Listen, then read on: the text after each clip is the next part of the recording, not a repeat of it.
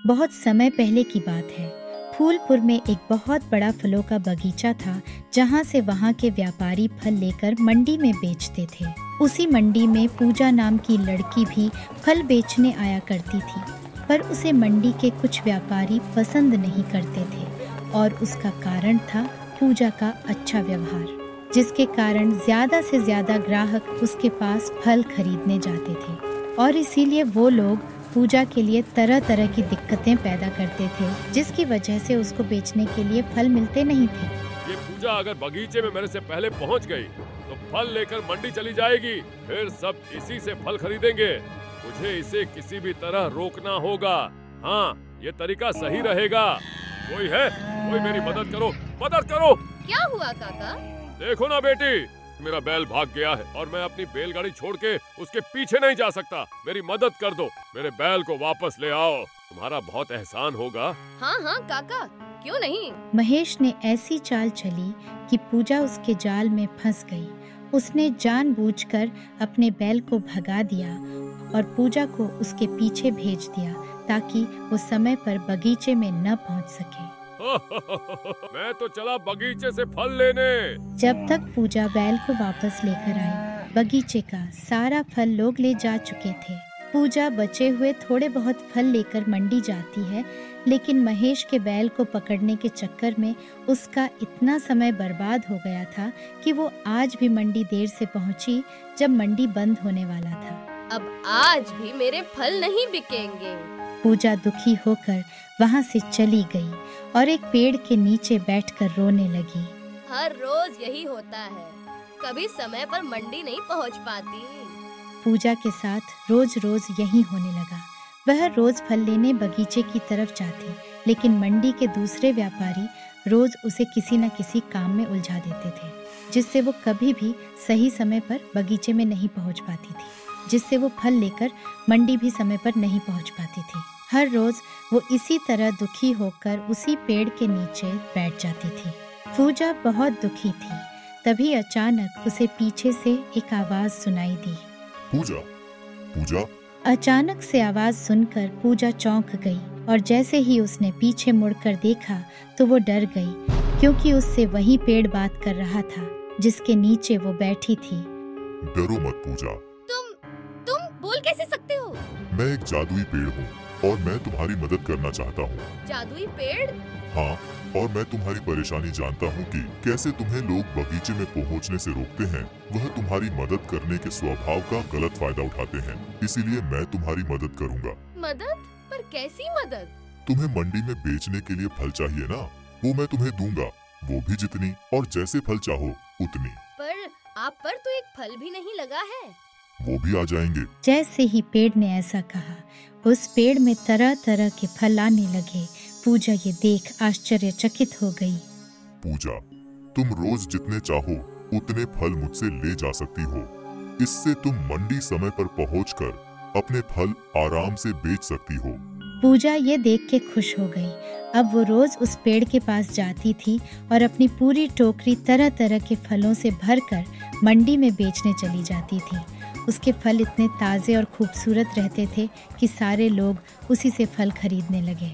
ये देखकर बाकी व्यापारियों को जलन होने लगी। महेश को पूजा पर शक होने लगा, क्योंकि अब वो फल लेने बगीचे में भी नहीं जाती थी। इतने सारे ताजे फल पूजा को रोज कहाँ से मिलते हैं? अब ये बगीचे में भी नहीं जाती।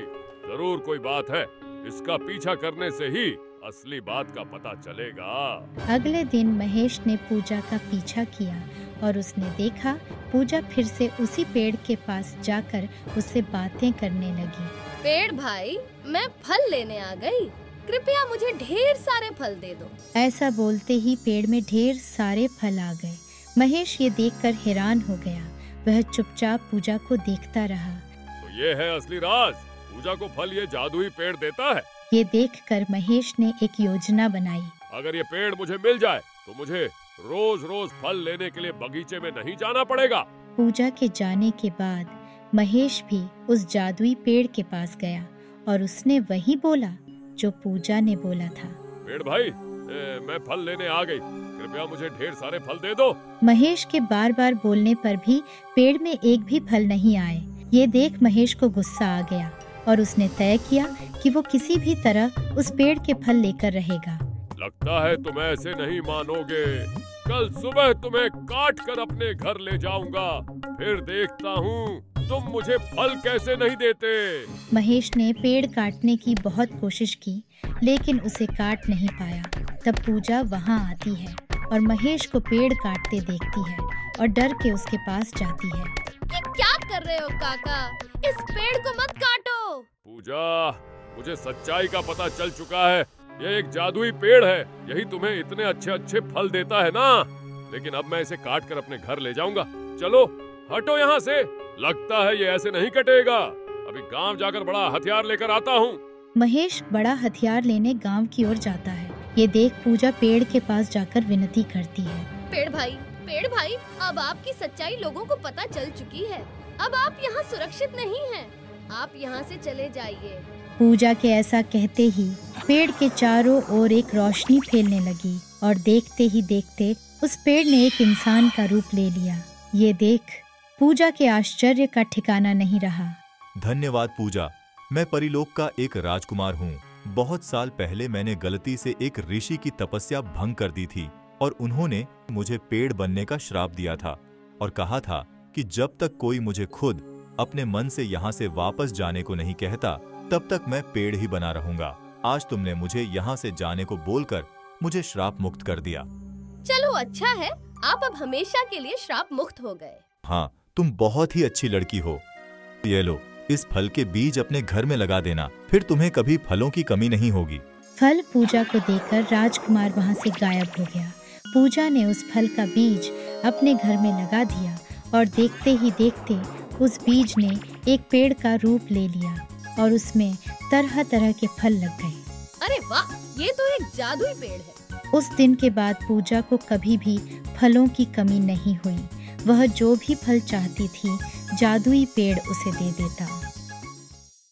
सोनपुर एक खूबसूरत जगह थी जो चारों ओर से हरे भरे पहाड़ों से घिरी हुई थी।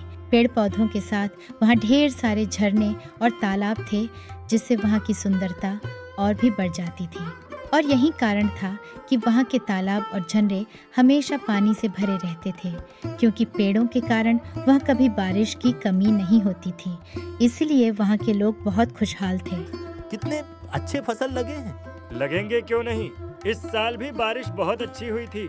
सब लोग बहुत खुश थे और होते भी क्यों नहीं? फ़सल इतने अच्छे जो लगे थे, पर शायद उनको ये पता नहीं था कि ये खुशी ज़्यादा दिन तक चलने वाली नहीं थी, क्योंकि सोनपुर में कुछ ही दिनों में एक आदमी वहाँ लकड़ी का कारखाना खोलने आया था। और कारखाने का मालिक बहुत ही लालची था। सुनो सुनो सुनो! अब आप लोगों को खेती करने की कोई ज़रूरत नहीं है। आप सब मेरे लकड़ी के कारखाने में नौकरी कर सकते हैं। उसके बदले आपको अच्छे पैसे भी मिलेंगे। इतने पैसे जितने आप खेती करके कभी कमा नहीं सकेंगे। गाँव के लोग भोले भाले थे इसीलिए कारखाने की मालिक के बात में आ गए। पर बाकी गाँव वालों के साथ मोहन भी वहाँ खड़ा था जो पढ़ा लिखा और समझदार था और इसलिए उसे कारखाने के मालिक की बात खटकने लगी। पर हमें नौकरी देने के बदले तुम्हें क्या चाहिए। बहुत अच्छा सवाल किया है। मुझे तो बस कारखाने के लिए थोड़ी ज़मीन और आपके जंगल की कुछ लकड़ियाँ चाहिए। पर इससे तो जंगल खत्म हो जाएँगे और जंगल नहीं रहेंगे तो बारिश नहीं होगी। ये तो हमारा बहुत बड़ा नुकसान होगा। देखा गाँव वालों लगता है ये चाहता ही नहीं है कि गाँव की तरक्की हो और आप लोग अच्छी ज़िंदगी गुजारो। क्या आप लोग भी यही चाहते हैं? आप सही कह रहे हैं। गाँव की तरक्की से हम सबका फ़ायदा होगा। और यहाँ इतने सारे पेड़ हैं थोड़े बहुत कट भी जाएँगे तो क्या होगा? नहीं मेरी बात सुनो। मोहन ने गाँव वालों को समझाने की बहुत कोशिश की लेकिन सब लोग कारखाने के मालिक के बहकावे में आ गए थे और उसकी किसी ने नहीं सुनी। और देखते ही देखते गाँव में लकड़ी का कारखाना खुल गया। अब इस जंगल की लकड़ी काट कर मैं खूब पैसे कमाऊँगा। जाओ और तेज़ी से लकड़ियाँ काटना शुरू करो। जाओ, जल्दी जाओ। लकड़ी कारखाने के मालिक के आदेश पर उसके आदमियों ने ज़ोर शोर से पेड़ों को काटना शुरू कर दिया और कुछ ही सालों में सोनपुर के हरे भरे जंगल वीरान होने लगे। अब वहाँ पहाड़ तो थे, पर उसमें पेड़ नाम मात्र के बच गए, जिसके कारण वहाँ बारिश भी कम होने लगी, जिसके कारण आसपास के तालाब और झरने भी सूखने लगे। मोहन ये सब देखकर बहुत दुखी था। आखिर मुझे जिस बात का डर था वही हुआ। लकड़ी के कारखाने की वजह से न पहाड़ में पेड़ बचे न तालाब में पानी। अब क्या होगा पता नहीं। मोहन का डर बिल्कुल सही था। पेड़ काटने की वजह से सोनपुर में अब बहुत कम बारिश होने लगी। जो खेती तो दूर की बात पीने के लिए भी पूरी नहीं थी जिससे गाँव वाले परेशान हो गए। ये तालाब भी सूख गया। अब हम खेतों में सिंचाई कैसे करेंगे? वैसे ही बस, कारखाने में मिले पैसों से घर चलाना बहुत मुश्किल हो रहा है। ऊपर से बारिश भी नहीं हो रही, जिसे हम खेती कर सकें। ओह, कुएँ में तो पानी ही नहीं। अब हम पीने का पानी कहाँ से लाएँगे? बिना पानी के घर में खाना कैसे पकेगा? पानी की समस्या पूरे गाँव में फैल गई जिससे सब लोग चिंतित थे और इसका उपाय सोचने के लिए इकट्ठा हुए। गाँव वालों हमारे गाँव में बहुत बड़ी समस्या आ गई है। बारिश ना होने की वजह से ना पीने के लिए पानी बचा है और ना ही सिंचाई के लिए। अरे हमें तो पानी लाने के लिए दूसरे गाँव जाना पड़ता है। ये सब उस लकड़ी के कारखाने की वजह से हुआ है। मैंने पहले ही चेतावनी दी थी। पर तब मेरी किसी ने नहीं सुनी। ये उसी का परिणाम है। अरे लकड़ी के कारखाने को क्यों दोष दे रहे हो? पानी तो बारिश न होने की वजह से कम हुई है। हाँ बारिश न होने की वजह कारखाना ही है। उन्होंने हमारे गाँव के पहाड़ों के सारे पेड़ काट लिए। यही वजह है कि बारिश नहीं हो रही। मोहन बिल्कुल सही कह रहा है। इससे पहले हमारे गाँव में बारिश की समस्या कभी नहीं हुई। ये सब पेड़ काटने की वजह से ही हुआ है। ये मोहन तो कुछ भी बोलता रहता है। इसकी बात का भरोसा मत करना। बारिश और पेड़ों का आपस में क्या लेना देना? मोहन बिल्कुल सही कह रहा है। ये सब तुम्हारी वजह से हुआ है। हाँ हाँ तुमने कहा था बस कुछ ही पेड़ काटोगे पर तुमने तो पूरा पहाड़ साफ़ कर दिया। हाँ ये सब तुम्हारी वजह से हुआ है। इससे पहले कि ये गाँव वाले मिलकर मेरी धुलाई करें मुझे यहाँ से भाग जाना चाहिए। हमें माफ़ कर देना मोहन। हमने थोड़े से पैसों के लालच में तुम्हारी इतनी ज़रूरी बात अनसुनी कर दी। हाँ, हमें माफ़ कर माफ़ कर दो। मोहन अब तुम ही बताओ हमें क्या करना चाहिए जिससे हमारा गाँव और हमारे पहाड़ पहले की तरह सुंदर और खुशहाल हो जाए। इसका बस एक ही उपाय है। हमें फिर से ढेर सारे पेड़ लगाने चाहिए। हम पेड़ लगा तो लेंगे पर उन्हें बड़े होने में तो काफ़ी समय लगेगा। तब तक हम क्या करेंगे? तब तक हमें जितनी भी बारिश हो उसका पानी ज़्यादा से ज़्यादा जमा करना चाहिए जिससे हमारे पानी की समस्या थोड़ी कम हो जाए। सही कहा मोहन हम ऐसा ही करेंगे। मोहन की बात अब गाँव वालों को समझ में आ गई थी। इसलिए उन्हें गाँव के पहाड़ों में और आसपास ढेर सारे पेड़ लगाए और बारिश का पानी जमा करने का उपाय भी किया। अगर हम मोहन की बात पहले ही मान लेते तो ये सब कभी नहीं होता। बिल्कुल सही कहा। कोई बात नहीं सीखने का कोई समय नहीं होता। वो कहते हैं ना जब जागो तभी सवेरा और देखते ही देखते कुछ ही सालों में सोनपुर के पहाड़ फिर से हरे भरे हो गए और पहले की तरह वहाँ भारी मात्रा में बारिश होने लगी, जिससे वहाँ के तालाब और झरने फिर से पानी से भर गए और वहाँ के लोगों की समस्या हमेशा के लिए खत्म हो गई और उनको पेड़ों का महत्व भी समझ में आ गया। कितना सुंदर लग रहे हैं ये पहाड़। हाँ अब हम किसी भी हालत में ये पेड़ नहीं काटने देंगे। क्योंकि हमें समझ में आ गया है कि हमारी ज़िंदगी में पेड़ कितने महत्वपूर्ण होते हैं।